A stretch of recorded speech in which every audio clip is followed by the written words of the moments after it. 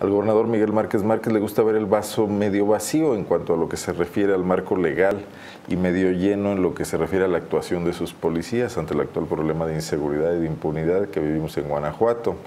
Para él el problema está en las leyes y pide que las cambien, depende del Congreso de la Unión y bueno, pues es difícil que ahí se pongan de acuerdo las fuerzas políticas y menos en este momento, aunque también faltarían diagnósticos serios, hay académicos que insisten que esta postura de los gobernadores es simplemente una fuga de su propia responsabilidad. Y así lo parece convalidar un estudio que mandó a hacer la Secretaría de Gobernación a fines del año pasado, en 2017, donde las policías estatales de Guanajuato, las fuerzas de seguridad pública del Estado, como se les conocía antes, ya se han dividido en varias corporaciones, pues no, no parecen estar muy arriba, como lo presume el gobernador Márquez, que incluso en su informe habló del incremento que ha habido de efectivos y también de la mejoría salarial en lo que hace las policías estatales. Aquí no estamos, no estamos hablando de las municipales. Bueno, pues este, este estudio señala muchos puntos débiles, muchas áreas de oportunidad, como se dice con este eufemismo, en la Policía Estatal de Guanajuato, en el marco del nuevo sistema de justicia penal. No parecen estar capacitados los policías de Guanajuato para hacer frente a los retos del nuevo sistema penal acusatorio. Carmen Martínez le dio seguimiento a este estudio, un estudio que es público, que está en internet, que evalúa a las policías de los 32 estados del país y donde Guanajuato pues, está de media tabla para abajo en varios de los parámetros. Carmen, buenas tardes. Hola, ¿qué tal Arnoldo? Buenas tardes. Pues sí, como lo comentas, ¿no? Guanajuato está reprobado en algunas de las áreas que se consideran principales y que además por ley deben ser obligatorias para eh, la formación policial en los diferentes estados. El gobernador Miguel Márquez y Álvaro que han estado presumiendo mucho de este desarrollo, como ellos mencionan, en eh, pues lo que han hecho dentro de las fuerzas de seguridad pública del Estado, como el incremento de, las, de los elementos de la corporación de 1.200 a 3.500, aún así siguen quedando cortos. Según eh, este estudio debe haber 1.8 policías por cada 100.000 habitantes y aquí nos quedamos en 0.4. Entonces, para empezar... Sí, los 3.500 estaríamos en 0.4. Bueno, yo creo que esto, este es al corte de, octubre de 2017, que fue cuando se publicó. Yo creo que todavía hay eh, pues elementos que no habían egresado, entonces supongo que... Pero andamos, digamos, por debajo del 1. Sí, pero mucho por debajo del 1. No, no alcanzamos a llegar al 1 ni con esta situación. Entonces, pues esto sí es, para empezar, es un punto que es grave y es criticable a, las fuerzas de seguridad. O sea, a ver, si te entiendo un poco y no, no me dejes que me equivoque, los 3.500 integrantes de la Brigada Militar apenas llegarían a suplir la deficiencia de policías estatales de Guanajuato. O sea, si Guanajuato habla de 3.500 y nos haría falta el doble, 7.000 eh, aproximadamente, pues eh, esto sería una fuerza de tarea permanente que debería existir, más allá de lo que es coyuntural esto de, la llegada de la policía militar. ¿no? Sí, así es, más o menos con esos 3.500 ya sería como el duplicado de los que hay de las fuerzas estatales. Yo creo que ya se alcanzaría a completar el mínimo que se requiere para para dar protección a los habitantes guanajuatenses. Pero bueno, lo que se nos hace más interesante de este estudio es que el gobernador Miguel Márquez pues, ha criticado el nuevo sistema eh, de justicia, señalándolo como una puerta giratoria donde los, los delincuentes entran y logran salir. Pero hay que recordar que también... Lo dice este todos los días. Sí, lo, dice todos los días. Es el, es el reclamo constante, pero hay que recordar que gran parte de este nuevo sistema implica que los policías sean quienes tienen que empezar con este proceso con la integración de las carpetas. Desde que ellos atienden eh, cualquier emergencia, es el primer respondiente, exactamente. Entonces ellos tienen que ir armando pues cómo se dio el hecho, qué, vieron, qué observaron, el resguardo de, del lugar de, donde se cometió el, el delito, cualquiera que este sea y bueno, los policías de Guanajuato no cuentan con la preparación necesaria en este sistema, siendo que Guanajuato es uno de los primeros estados en el que se implementó y se empezó a implementar estos años que lleva de implementación desde y se han invertido muchos recursos en la capacitación. Sí, pues los policías de las fuerzas eh, eh, de seguridad pública del estado no cuentan con la capacitación suficiente porque eh, para empezar, dentro de las instalaciones del Infospe, que es el Instituto de Preparación para los, los, cadetes de las Fuerzas de Seguridad Pública del Estado, ni siquiera se cuenta con una sala de juicio oral para que ellos puedan hacer ahí prácticas. Entonces, no sé si las hagan, a lo mejor las pueden hacer externas, pero al menos dentro de sus instalaciones no las hay. Esa es una carencia que ya habla pues, de algo importante. Y bueno, para puntualizar, existen tres talleres obligatorios para estos elementos en materia de justicia penal. Son el taller de la formación del primer respondiente y la ciencia forense, aplicada al lugar de los hechos, taller de la función policial y su eficacia en los primeros actos de investigación y el taller de investigación criminal conjunta. Por ley, estos deben tener al menos 30 horas de manera anual, es decir, cada, cada policía, cada cadete tiene que llevar esta preparación al menos 30 horas de manera anual, pero en Guanajuato solamente se ha impartido uno de los tres, o sea, los otros dos quedan fuera, y ha sido el taller de la función policial y su eficacia en los primeros actos de investigación. Y el número de veces que se ha replicado este curso, según lo que maneja este informe, es menos a 10. Bueno, el informe además, hay que decirlo, tú ya comentaste, es eh, mediados de 2017. Es eh, con corte octubre de 2017. Es el más actual. Eh, es el reciente, sí. No, es el, no se ha hecho Sí, sí, sí, es, el más reciente. Tiene cifras que pues en realidad no son tan lejanas, menos de seis meses. Son, no creo que hayan modificado mucho las cosas. No, son cifras bastante actualizadas y se revisa a las corporaciones de los 32 estados.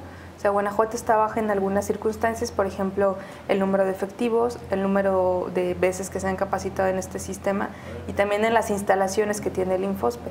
Se piden 12, 12 rubros para las instalaciones de esta academia o del instituto y solamente ah, cumplen eh, con 5, 5 de 12. Por ejemplo, ¿Habrá respuesta a este informe por parte del gobierno del Estado? O sea, una vez que resulta, ellos eh, tienen manera de decir, a ver, vamos a establecer una ruta crítica o, vamos a mejorar los pendientes que nos tienen? O, porque digo, de esto no han dicho esta boca es mía. ¿no? no, no, no, no, y seguramente ya tienen este estudio, ¿no? Eh, pues yo, yo digo que tendrían que dar una respuesta, pero práctica, más que una declaración, que incluso no la hubo, y el gobernador Miguel Márquez no quiso dar declaración ni de este tema ni de ningún otro que le queríamos preguntar. O sea, hay estados que están muy bien, que, que puedan presumir estar muy bien. Sí, hay estados que están mejor, es, hay estados que están mejor, por ejemplo está el estado de Sonora, el, Ciudad de México, que tiene creo que de los mejores indicadores, eh, pero hay otros estados que están incluso por debajo de Guanajuato. O sea, Guanajuato está debajo en materia de preparación del nuevo sistema de justicia, esto sí es de los más bajos. Hay algunos estados que ni siquiera han empezado con la preparación para los policías, no han dado ningún curso. Eh, pero bueno. Media tabla. sí, sí, media tabla, yo creo.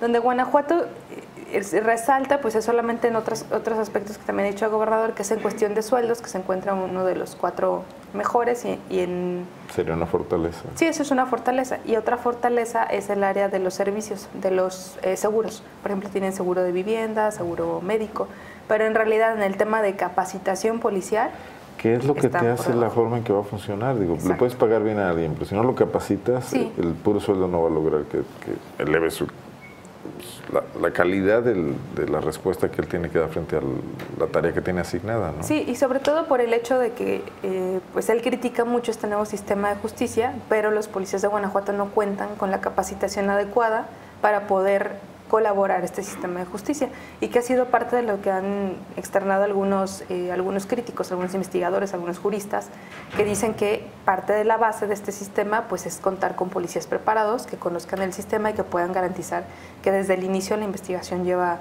todo adecuado, ¿no? que se cometen eh, las detenciones en el cumplimiento de lo que, lo que se debe tener, las investigaciones igual, y bueno, pues con poca capacitación no se garantiza. Obligadísima la respuesta de Álvaro Cabeza de Vaca sobre este estudio de la Secretaría de Gobernación. Sí, sí, tendrá que ser. Tenemos que buscarlo. Vamos a buscarlo. Bueno, ¿algo más que quieras destacar del tema? Pues, pues solamente es ese, ese el tema, como lo mencionaba también, yo creo que también es digno de, señalar, Guanajuato es uno de los cuatro estados con mayor sueldo, más de 13 mil pesos mensuales para los que tienen menor nivel, de ahí hacia arriba. Esto que dijo en el informe Márquez se comprueba en el estudio. Así es, y además pues eh, Miguel Márquez anunció que también va a haber un aumento salarial, entonces esto es bueno para los policías, claro que sí, y también pues nada más el área Ahora lo que necesitan es crear más plazas crear más plazas y que estén bien capacitados, capacitar a los que ya están y a los que vienen. Bueno, pero pasando a otro tema, pero sin duda todo está relacionado. Eh, mm, nuevo crédito para el gobierno del Estado. Es, me imagino, el que ya estaba aprobado en el Congreso. Sí. Nomás van a echar mano de él, digamos. Sí, Sí, sí, sí, parece ser porque no, no hubo una, una discusión en el Congreso, entonces suponemos que sí es el que le habían autorizado hace dos años, año y medio, casi 5 mil millones de pesos. y usó una parte. Ajá. Fueron dos años porque fue para el programa Impulso, para el lanzamiento, que fue esta obligación. Hoy intentamos hablar con el gobernador Miguel Márquez porque es raro, ¿no? Que se pida un préstamo ya, bueno, o se haga uso del, préstamo a estas alturas del partido, pero no nos quiso atenderse. Es que, bueno, vamos a estar también pendientes de cómo se va a aplicar. dos mil millones de pesos lo que va a contratar. Están presumiendo mucho que van a hacer subasta inversa para el que les dé la tasa más barata sea el que gane el contrato. Pero ¿qué, ¿para qué quieren este dinero? Pues es lo que vamos a no sabemos. es lo que vamos a intentar revisar bien para que nos digan puntualmente qué, cuáles son las inversiones. Lo que nos comentaron es pues que nada más sería también para utilizarlo en algunos compromisos que quedan pendientes y para cierre de la administración obra pública. Elecciones por delante, el gobierno ya no debería estar tan... Exacto, es que sí, y además es mucho recurso. Entonces, pues, Dos mil millones de pesos para los últimos siete meses. Estamos en marzo, mes 13, ellos terminan en septiembre, mes 9, seis meses, seis meses. aproximadamente seis meses y, y, que es una buena parte de, tiempo electoral, entonces bueno, vamos a ver para qué se utilice. Muy bien, bueno, sí, sí, sí, importante saberlo. En su origen, cuando el Congreso autorizó este crédito, debería haber definiciones de para qué sí, para qué. Bueno, no para qué no, para qué sí. Y creo que no se pueden salir de ahí. ¿no? no, no, tendrían que haberse salido de ahí. No, pues ya por ley tendría que venir así. Muy bien, pues entonces para investigar probablemente sea obra pública. Sí. No sé si el puente. Eh, están hablando de dos puentes nuevos. Ajá. El de las Torres y, y Boulevard Morelos, que ya prácticamente creo que está pusieron la primera piedra. Sí. Y uno nuevo sobre el Boulevard Aeropuerto a la altura del Tajo Santana, de por ahí, ¿no? Sí, pues vamos a ver porque también creo que eh, por esas zonas también hay... Donde va a embonar el, el Timoteo Lozano y lo que venga de, de, eje metropolitano. Ajá, pero el asunto es que también son vialidades federales, ahí debería ser una inversión conjunta. Pero el Estado pagó los puentes anteriores. el de la ladrillera lo pagó Romero Gis en su gobierno y el de Santana. Pues vamos a preguntarles exactamente cuál es el la inversión, ¿para qué, para qué exactamente? Que era lo que quería saber hoy no, no contestó. 2.088 millones de pesos. Con eso cierra el gobierno con este nuevo crédito, que ya le tocará pagar a los que vienen. Carmen, gracias. Sería todo por lo pronto. Vamos a una pausa.